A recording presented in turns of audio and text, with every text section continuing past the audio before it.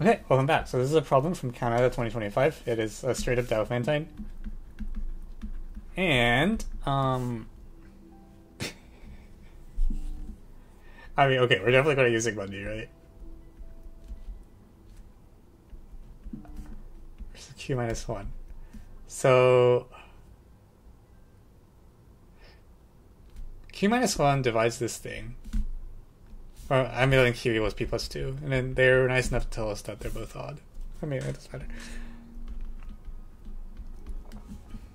So, anyways, that means that this thing is a power of 2, because this thing's just completely relative. Like, this has no factors of P in it.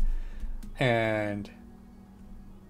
Okay, so what this means is Q minus 1 has to be 2 to the something. And Q to the C minus 1 over Q minus 1 has to be equal to P to the B times 2 to the whatever. So already, um, A has to be not A. For for a prime minus one to be a power of two, um, that doesn't happen that often. This has to be a power of two itself. So I mean, I'll just do that now. And in fact, we don't we don't know very many primes of this form. But moving on. Um, we don't really care what this thing is. Okay. So, so okay, what what primes are of this shape? The, the primes that we that have this property are like.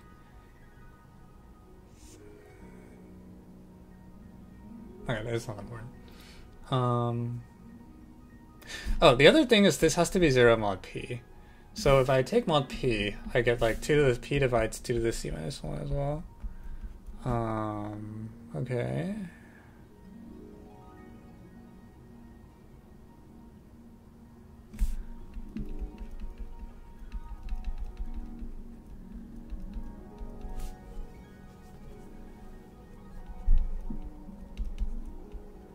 I think C has to be prime though, because basically because of Zsigmondy. Like Zsigmondy will tell us that if you have a if C has a proper divisor other than one, then you there there should be at least three different primes, and there aren't. So if I, I think if I just like use the Z hammer, this implies C is prime. That implies P is one mod two to the C, or is one mod C, yeah.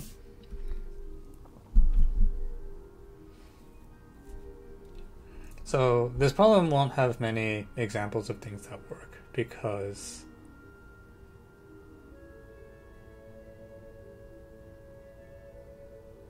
there's just not that many Fermat primes. So should I just actually use like plug in the Fermat primes now? Like, okay, let me let me actually think about the problem. So the primes that could happen are five. Wait, seventeen doesn't happen because it's not five minus seventeen minus two. 257 is okay. That's that's stupid. Wait, hang on. Aren't all these primes? Is there a mod five issue? Because if so, that's just stupid. But maybe there's a mod five issue.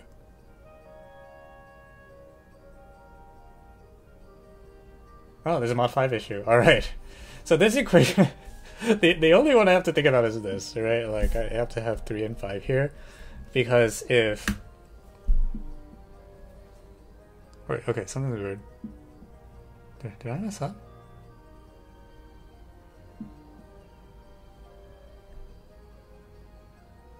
Right. Yeah, Q, Q minus 1 has to be a power of 2, right? Because it doesn't share factors with P, because there's one more than P. So, I mean, okay. I guess it has to be 5 and 3? In which case, I feel like now I can just run the problem over, right? So 2 to the a times 3 to the b equals 5 to the c minus 1 is the Diophantine actually trying to solve.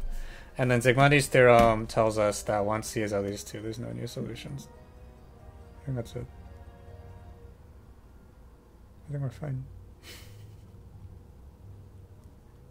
yeah? Okay.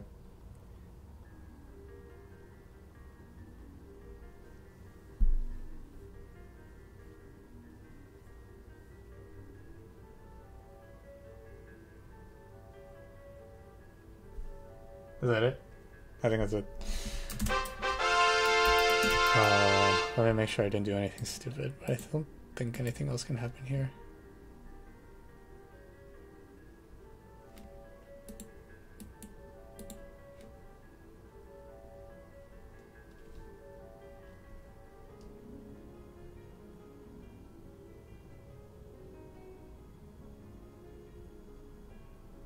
Yep, okay. Let me write this up, but this was a little underwhelming. Um,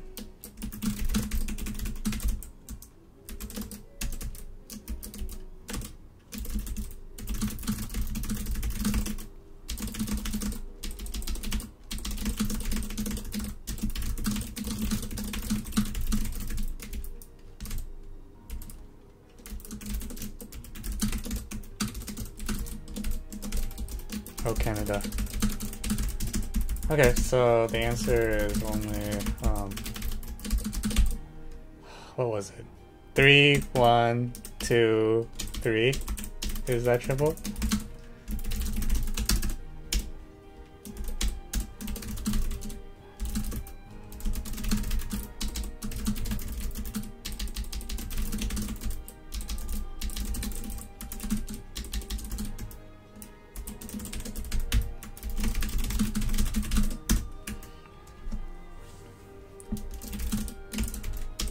Okay, since you see p plus 1 equals 1, it follows p plus 1.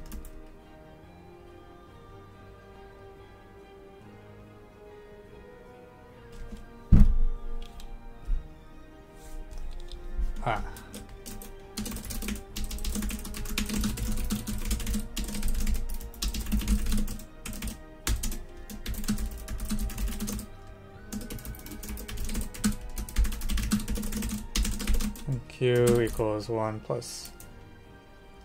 Oh actually you know we can we can be more symmetric right? Like if p plus 1 q minus 1 uh must be a power of 2 um yeah it's just this is not.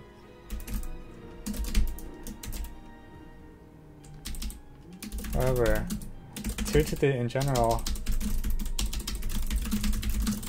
2 to the n minus 1 can be prime only when n is prime while 2 to the n plus 1 can be prime only when n is a power of 2.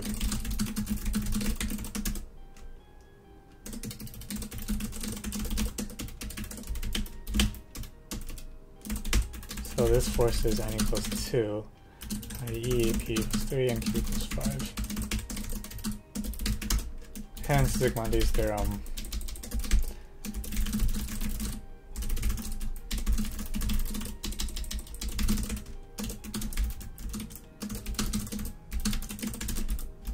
Zsigmondy's theorem.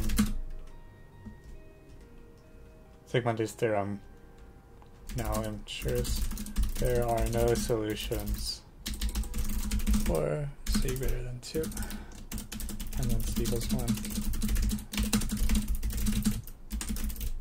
Okay, the end. Easy. Um, yeah. I'm glad we can do easy problems today. That's apparently most of what we were able to do. huh.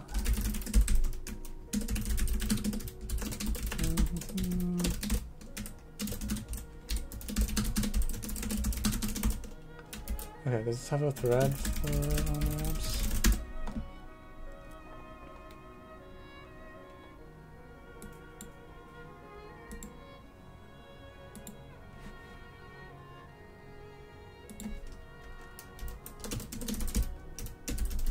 Using Zig's a little abusive. We probably don't. We probably should just do the thing where we're like, look, C is even, and then factor it, but I, I don't know. I've done too many of these kind of things, so I don't care anymore. Mm-hmm.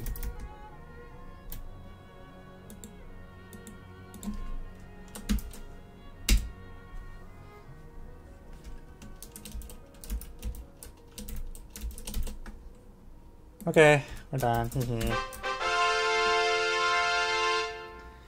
Alright, I might just call it a day here. Um, yeah. Okay. For those of you watching on YouTube, thanks for tuning in. Um, hopefully it's you know, another short video. Okay, take care.